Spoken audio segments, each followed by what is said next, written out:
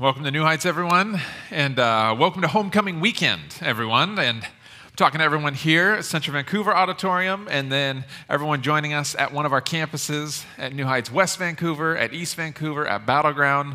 Um, we hope that you guys are having a wonderful homecoming weekend, no matter what campus you're at during homecoming weekend, you've already heard that um, our, our focus is on connecting with new friends, reconnecting with old friends, and connecting with our God in heaven that brought us all together as a church. It, uh, to me, that seems like an appropriate focus for homecoming weekend because that's what New Heights has been about for years. I mean, truly, ever since New Heights began as a church back in 1954, we've been all about celebrating our connection with Jesus and celebrating our connection with one another. And so here on homecoming weekend, that's what we're about. That's what we're going to do. And it seems appropriate also that then we would be kicking off a teaching series called Forming Friendships in a Lonely World. Um, so because friendships are of the utmost importance to lots of us, they're vital to us. And just think about when, when you moved to Clark County, when you moved into the area, or, or maybe you moved somewhere within from one side of town to the next side of town. When you made that move, a priority for you, no doubt, was okay, when we move there, are we going to make friends? And where are we going to find those friends? And it's a priority to us, right? Or think about, okay, parents in the room. If you have kids that went back to school this past week, or you're waiting for your kids to go back to school this next week, depending on where you're at, first day of school, when kids come home from school, what do you ask them? How was your day? Did you make any friends? Who'd you sit by? Did you, did you sit in, in class with your old friends? Did you make new friends? Who? We want, as parents, we want to know, kids, who are your friends? Because we know how vital friendships are. Or adults, doesn't just happen at school, it happens at work too, doesn't it? When you're at your job or you're, you're looking to start a new job, you're looking around saying, Am I going to fit here? That is, am I going to have relationships, healthy, authentic relationships with people I work with? Or we do that even here at New Heights. No matter what campus you're at, when you pull onto the, onto the property, when you drive into the parking lot, you hope and pray, Lord, can you provide me with a connection with somebody so I can build a healthy, authentic friendship? You see, we all long for healthy, authentic relationships in every area of life, don't we? But here's the problem the problem is you and I can be surrounded by people, yet still feel alone and isolated. That is, you can have the friendliest neighbors on the planet, yet still feel like a complete stranger to them. Students, you could, you could go to school with the same group of students and sit next to them every day, five days a week, for every week out of the year. And you could do that for 12 years until you graduate high school and still feel like you don't know them and they don't know you. And I wish I could say that it ends at school, but again, adults, you know this, that can even happen in the workplace, can't it? You could show up to your office tomorrow morning and you could have just chatty colleagues and coworkers around you, and yet you still feel like you're not on the, in, the inside, you're not on the in crowd at, in the office. And, I, and I'm, I'm, I'm saddened to admit this and embarrassed to admit this, but that can also happen here at any one of our New Heights campuses. That is, you could be greeted in the parking lot, you could be greeted in the lobby, you could be greeted in the auditorium, but at the end of the service, when you get in your car and you drive home, you still feel overlooked or alone or isolated. You see, just because we're around people, just because we're, we're near people, doesn't mean that we automatically have healthy, authentic relationships with people around us. In fact, quite the opposite. We can feel like we're alone and isolated. And every one of us has felt that way at some point in our life. Every one of us has felt alone. And if you felt all alone, here's what I want you to know. If you felt all alone, you are not alone. Because we've all felt alone at some point, and many of us feel alone right now. In fact, in our country, this is, a, this is an epidemic, this idea of loneliness. Um, the US Surgeon General just released a report this past year that said our nation's next epidemic, it is not a virus, but it's loneliness and isolation. And this 80 page report was, recent, was recently released. And in this report, um, we hear that loneliness is at an all time high in the lives of people who live in our country. In fact, um, adults, uh, 50% of all US adults are experiencing loneliness at a record breaking number right now. Um, and not just, I mean, think all adults, I mean, 50% of adults, but then if you hone in on young adults, that is around that 19, 20, 21 year of age, um, it's even greater there. Look at this. Um, from 1976 to 2019, the rate of loneliness among young adults has increased every single year. However lonely young adults feel today, next year, they're going to feel even lonelier. The year after that, even lonelier. And young adults, especially, but the truth is, adults of all ages, anytime we start to feel a little bit lonely, what do we do? We try to distract ourselves, right? So, an, an easy way to do that, take your phone out and start scrolling on your phone because, oh, my phone is my friend. Or maybe even worse, social media is my friend. And this report also identifies how social media impacts our, our level of loneliness. That is, social media usage. There's some people who who scroll through social media two hours or more per day. There's others that scroll through social media 30 minutes or less every day. And this report tells us that those who are on social media two hours or more every day, they actually end up feeling twice as lonely as those who only spend 30 minutes or less. That means that the very source that we are using to try to solve our loneliness, social media, is actually causing us greater loneliness and isolation. So the question is why? Why is that? Because you and I were created for healthy, authentic relationships with one another. And yet, you and I have a hard time starting, growing, and maintaining healthy, authentic relationships. But we live in this world where we are more connected than ever before, yet we've never felt more disconnected than ever before. Have you experienced this? That we're more connected than ever before. That is, we have more people in our lives and access to more people in our lives than anyone in the history of time. And yet, you and I, we feel more disconnected than ever before because we recognize that we live in this lonely world, which is why we're doing this series. We're kicking this off this week. Forming friendships in a lonely world. We recognize we live in a lonely world and we were designed for healthy, authentic relationships. This is not a new problem, this idea of living in a lonely world. This is not a 21st century problem, but this is a timeless problem. In fact, there's a passage of scripture that was written almost 3,000 years ago that addresses how to live in a lonely world. 3,000 years ago. So this is a timeless problem. It was written by a man named King Solomon. And King Solomon was one of the wisest men to ever live and one of the wealthiest men to ever live. Uh, there's a passage, a little verse in Second Chronicles that tells us, summarizes his life. Um, it says that King Solomon was greater in riches and wisdom than all the other kings of the earth. All the kings of the earth sought an audience with Solomon to hear the wisdom that God had put in his heart. You see, Solomon, as the wealthiest and wisest man to ever live, he kind of experienced everything you could experience. He did everything you could do. He owned everything you could possibly own. And because of his wisdom, he knew everything that you could kind of know at, at the time. And I mean, he's okay. You know what he reminds me of? You guys know that commercial for the farmer's insurance? You know the little slogan? Their slogan is, We know a thing or two because we've seen a thing or two. You know that one? King Solomon, the original farmer's insurance guy. He knows a thing or two because he's seen a thing or two. We are farmers. Bum, bum, bum, bum, bum, You know the one. Okay. Now you're going to have that stuck in your head for the rest of the day. Sorry about that. King Solomon, one of the wisest men to ever live, one of the wealthiest men to ever live, said, let me, t- let me capture a summary of what I have learned. And that summary, he, he, he captures all of that in the book of Ecclesiastes. Actually, the book of Ecclesiastes is kind of the summary of, uh, of a, the greatest social experiment ever conducted. Because King Solomon, towards the end of his life, he said, What would life look like if I removed God out of the equation?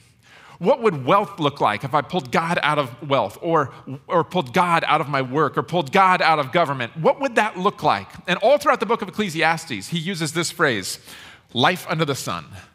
And what that means is life without God. So, all throughout the book of Ecclesiastes, he gives us these little snapshots of what these areas of life would look like life under the sun, that is, without God's influence in that area. So the passage we're looking at today comes to us in Ecclesiastes chapter 4. Ecclesiastes chapter 4, Solomon highlights here's what relationships would look like without God's influence in them.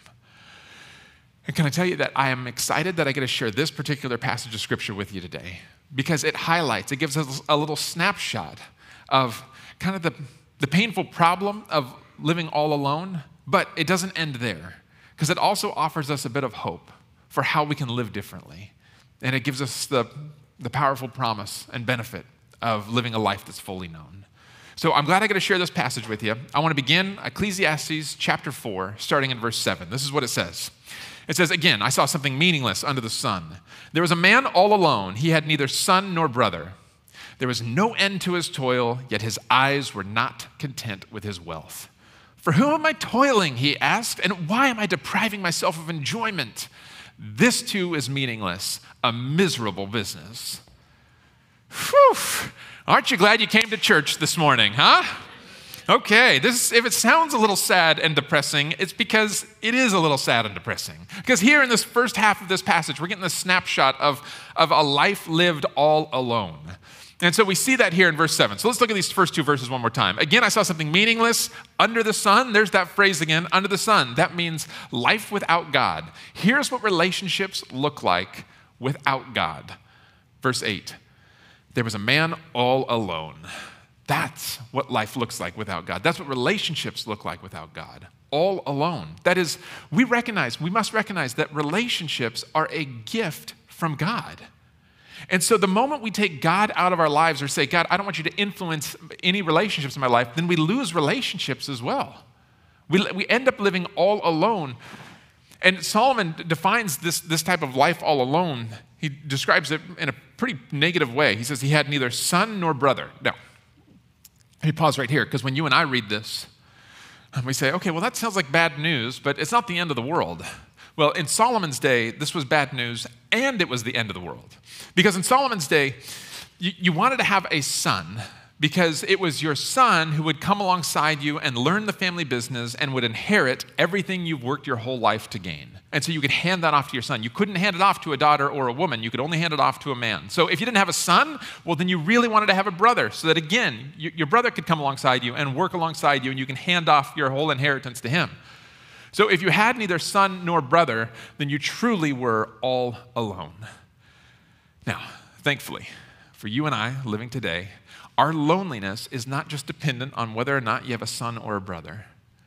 But unfortunately, as we've already d- discussed, you and I, we can, we can still be surrounded by people, yet still feel isolated and alone every bit as much as this individual, this guy in this story. And when that happens, we can become overwhelmed with the pain and the problem of being all alone. So, here in this passage, the rest of verse 8, King Solomon kind of describes these four different snapshots, these four different problems of living a life all alone. I want to look at these real briefly because then, like I said, the passage gives us a little bit of hope on the second half, and I want to get to that. So, um, verse 8, he says, here's, here's these four different problems with being all alone. The first is, there was no end to his toil.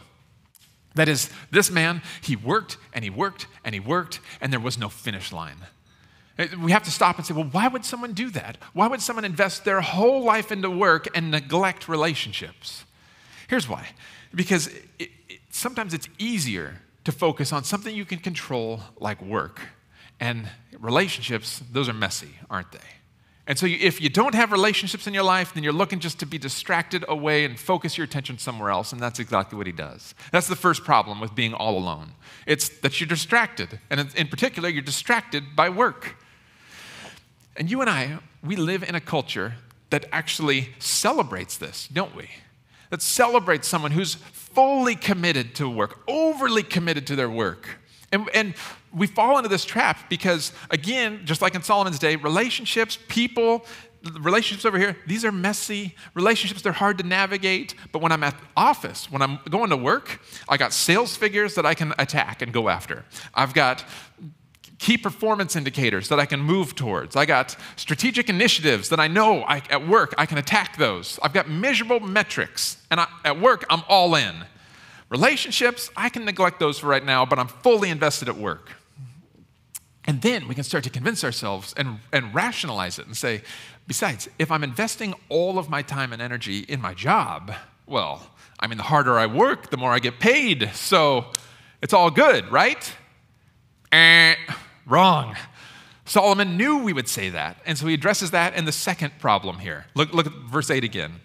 There was no end to his toil, yet his eyes were not content with his wealth.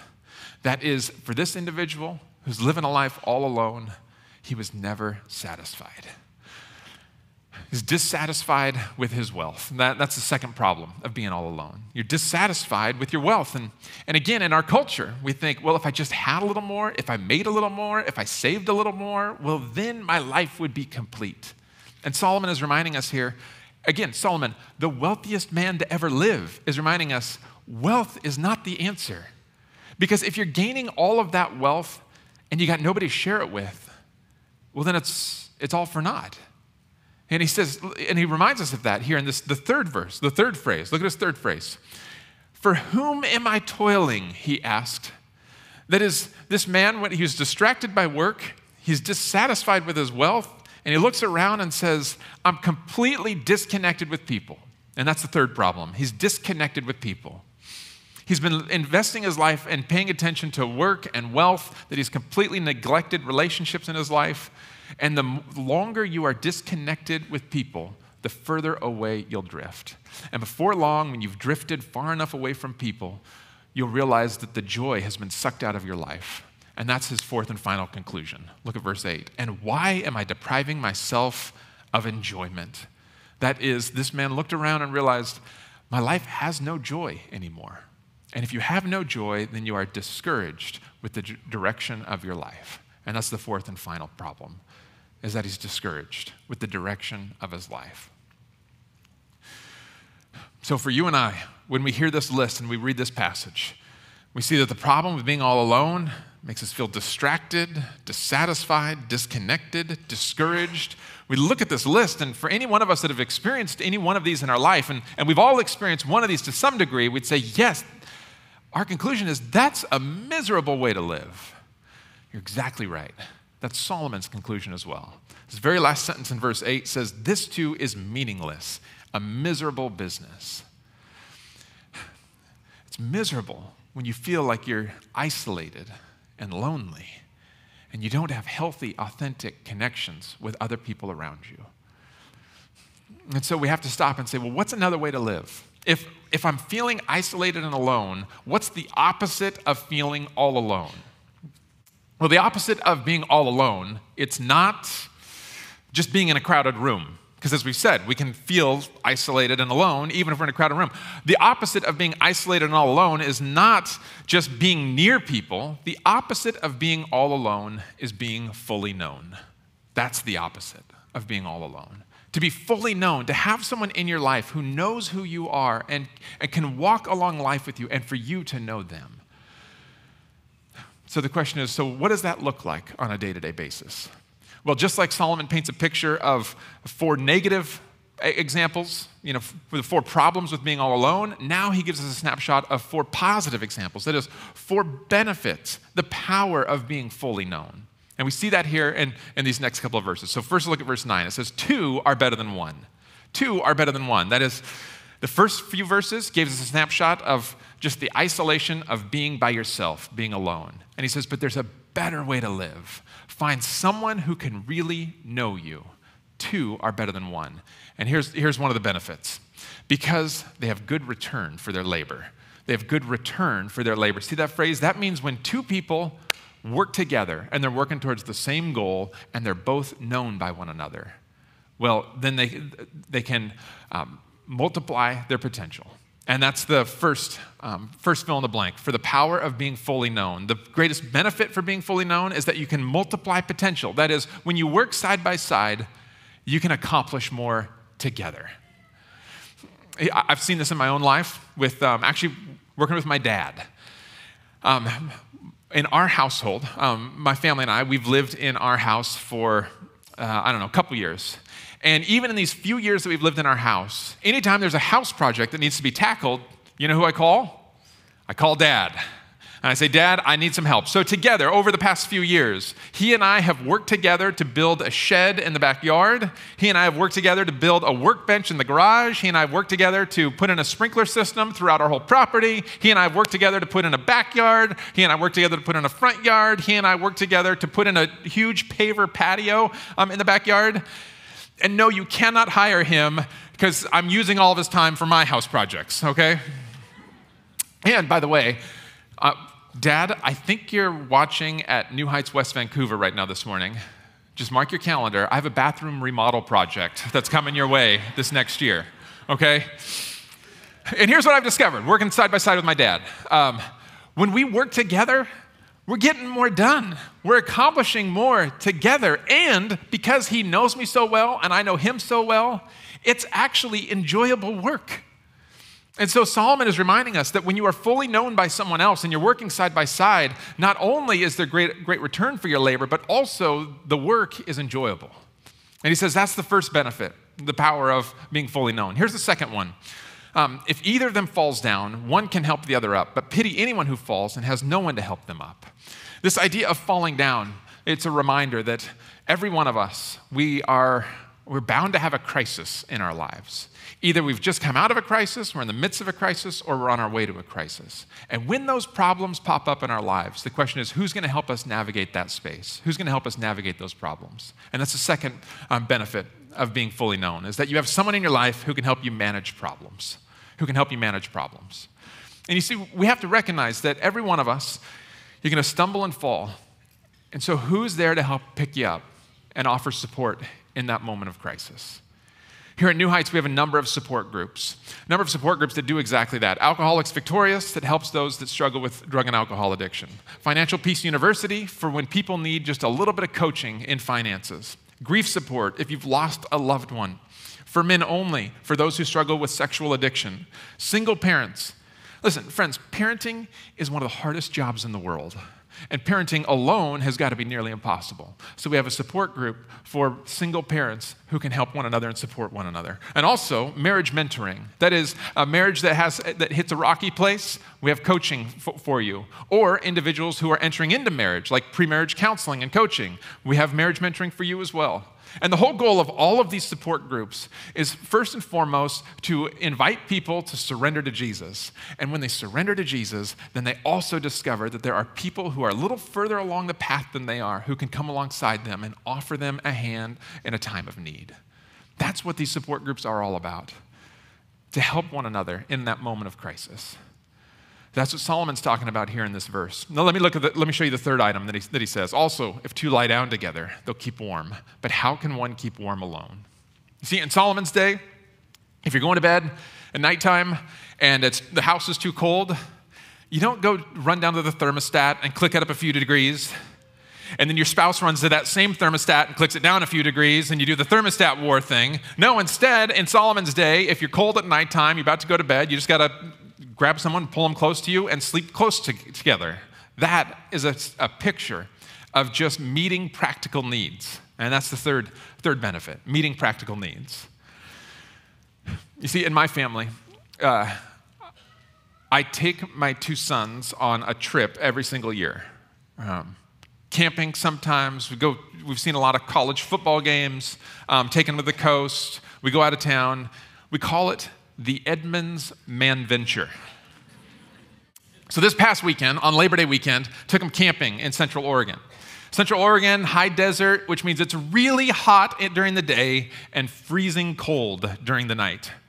And um, you should have seen us because when we were setting up the tent, um, we all want our space, right? I need my space, don't get too close. And so one sleeping bag and suitcases over here, another sleeping bag and suitcases over here, another one's over on the far side of the tent.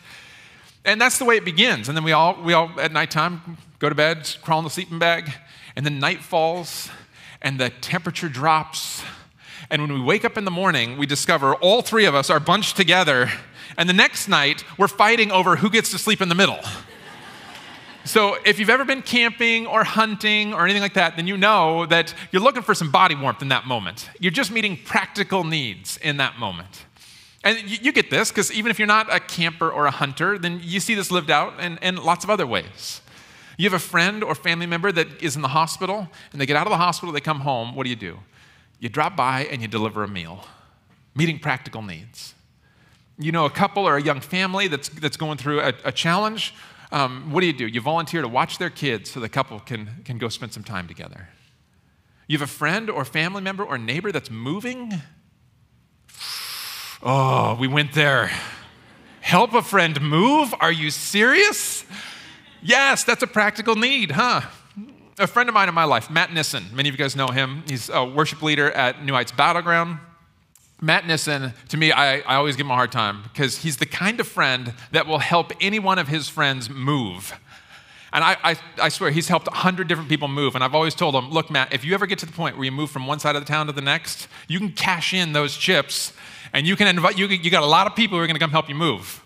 Matt is a guy who's living out this, this passage on a regular basis. And can you invite Matt? Can you ask Matt to help you move? Maybe. Okay, maybe not, because that's a lot of people knocking on his door to help, to help him move. Because the truth is, we help people who, who know us really well, don't we? And when it's time for us to move, we ask our close, close friends and family, can you help me? Because it's when we're fully known that we want to meet the practical needs of those around us. Now, let me show you the, the fourth and final one here. Though one may be overpowered, two can defend themselves. The one may be overpowered, two can defend themselves. So, the fourth and final powerful benefit here of being fully known is to maximize protection. To maximize protection. Now, you and I living in today's world, we could say, well, hold on a second. Why would I need to be protected? What sort of a benefit is that? Why do I need to be defended? Because maybe in Solomon's day, when they're at war, that makes sense. But in our day, when would this ever make sense? Well, let me ask you this Do you know any young adults that are starting their career and entering into the workforce?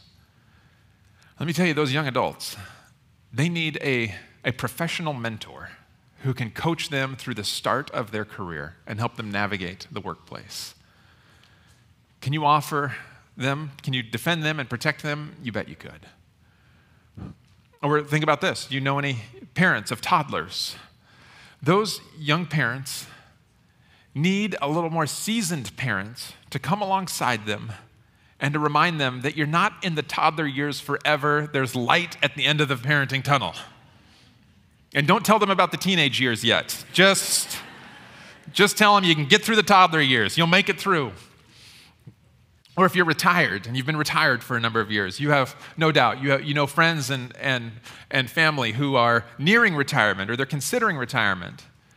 Those who are about to enter retirement need a friend to come alongside and offer a little coaching and talk to them about the ups and downs of retirement. You see, we all in our lives hit a certain point where we need someone to come alongside us and help protect us and defend us and offer a little coaching and a little help. And we read about these four benefits of being fully known. Um, every one of us would say, Yeah, that's the kind of friend that I want in my life. But the question is, are we that type of friend in someone else's life? You see, no doubt every one of us would want that type of friendship to be fully known in that kind of a way. But when it comes time to being that type of a friend in someone else's life, then a lot of us would say, oh, you know, that requires a lot of extra time. I don't have time. That requires a lot of extra energy. I don't have the energy. That requires a little vulnerability. I don't really want to be that vulnerable. And we can start to say, I don't have what it takes to be that type of friend in someone else's life. Exactly. None of us have what it takes to be that type of a friend in someone else's life. Solomon highlights that here in the very last line of this, of this passage. Remember, he says, The one may be overpowered, two can defend themselves, but look at this a cord of three strands is not quickly broken. All right, hold on there, Solomon, because you said two are better than one. Who's this third person in the mix here? He's saying, It's God. Inviting God into your life and into your relationships is where you can draw strength to be that type of friend in someone else's life. You see, for every one of us, our ultimate goal here is not just to have more friends. Our ultimate goal in life should not be just to have healthy, authentic relationships with people, but truly the most fulfilling relationship we could possibly have in this world is a relationship with our Father in heaven. That's why God came to this earth to be with us as Jesus Christ, so that, he could, so that we could have a relationship with Him. And so, first and foremost, we are called to surrender to Jesus and to enter into a relationship with Him. And the moment we do that, we discover that's, a, that's the third cord that's woven around our lives and in our relationships with people. It's finding our strength first in Jesus and then recognizing now I have something to offer in a relationship that God brings my way. That's why you and I are called to be that type of a friend in someone else's life. You see, we know the, the pain, we know the problem of living all alone, and we see this snapshot of the powerful benefits of being fully known. And, and for lots of us here, I, I'm guessing there's, there's two groups of people here. The first group is saying, okay, Matt, I get it. But I, have, I know so many people in my life that I don't know where to start. I know people at my office. I know people in my neighborhood. I know people here at this church. I have people in my family. I have people, just friends. So, so how can I have a healthy, authentic relationship with all of them? And the answer is you don't have to have a healthy, authentic relationship with all of them because Solomon, remember what Solomon is saying? Solomon doesn't say 200 are better than one. Solomon doesn't say two dozen are better than one. Solomon says two are better than one two, which means you plus who equals two. How's that? You plus who equals two. So the only question we should be asking ourselves is who's our who? Who's your who? Now, I know grammatically this doesn't make sense and it kind of sounds like a Dr. Seuss book, but, but it just, we should all pause for a moment and say, who's the one person that the Lord has strategically placed in my life who I can take the next step towards and first, having faith in Jesus, I have something of significance to offer this individual, and I can be that type of a friend in their life. And all you have to do is just pick one person. At the start of all of our services here during homecoming weekend, um, we all had these footballs that we were handed. We were all asked to write our name on these footballs, and then we all chucked these footballs across our auditoriums. Now, if you showed up late to our service and you're like, you did what? It's okay. Stick around for the next service and, and experience that. We, we chucked these footballs across the auditoriums at all of our campuses. On your way out today, at all of our campuses, all of our services, we're going to have volunteers holding baskets with these same footballs in them. And when you leave, when you exit the auditorium, I invite you to grab one of those footballs and take that home with you. Because we want this football with someone else's name on it to serve as a reminder to you that it's just you plus who equals two. Use this football as a reminder that it's just one person that the Lord has strategically placed in your life who you're called to demonstrate this type of friendship with. You know, when you get this football and it's got someone's name on it, that doesn't mean you have to track them down. that might be a little creepy, okay? But you could be praying for that individual for sure, because no doubt that person is, at some point in their life, maybe right now, feels lonely and isolated. And maybe that person right now is looking for healthy, authentic friendships. So pray for that individual. But use this football as a reminder. Put it in your cup holder in your car so when you're driving to New Heights next weekend, you'll look at this and remember, Lord, who's the one person that you want me to connect with? Or put it on your desk at work. And so when your colleagues walk by, you can look at this football and be reminded, Lord, who's the one person that you want me to connect with here at work? Or put on the windowsill of your house. So when you look out your window and you look at your neighbor's houses, you say, Lord, who's the one neighbor you want me to invest in right now? Use this football as your, as your reminder that two are better than one. So, who's the one person that the Lord's placed in your life that He's calling you to invest in? So, use this as a reminder, especially if you're looking at your life, you say, I got a lot of people in my life who I could choose.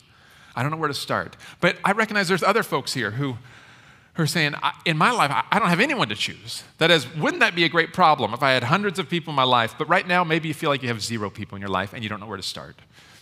Well, if that's you, then I would direct your attention to this little printed program you were handed when you came in. And inside the printed program, you can see that we're kicking off community groups and you can sign up for a community group. There's a little QR code or a little website you can visit. This is the last day to sign up for community groups, and they kick off here in a couple weeks.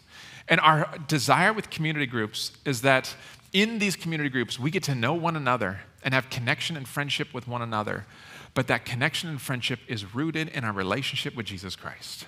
That as God uses these relationships in these community groups to draw us closer to one another and closer to Him.